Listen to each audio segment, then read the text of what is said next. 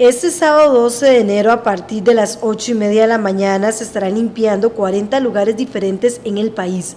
Como parte de la segunda limpieza nacional por los océanos, nuevamente en el cantón de Osa se suman a la iniciativa. Estarán en las playas de Colonia, en Bahía Ballena, Hermosa y en Dominical. Queremos crear conciencia, ya estamos cansados del problema.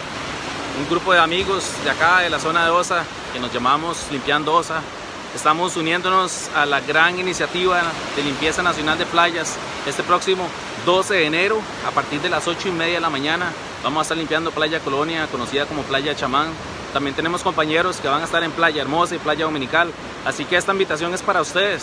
Sí, usted que está yendo en Pérez de León, pues está aquí en la zona y quiere ayudar, pues ese es el momento. Hacen un llamado a la población a sumarse en esta iniciativa y que ayuden a mantener estos lugares limpios y no botar basura. Tenemos que ser parte de la solución y no más el problema. No queremos más basura aquí en OSA. Entonces, en OSA y todo Costa Rica. Entonces les invitamos, por favor, acérquense, sean parte del cambio, hagamos conciencia, ya que desgraciadamente somos nosotros, los ticos, los costarricenses.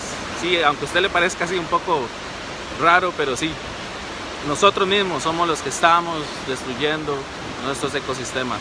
Así que les agradecemos tomar conciencia. Toda persona interesada puede colaborar, eso sí, les piden llevar guantes y bloqueador.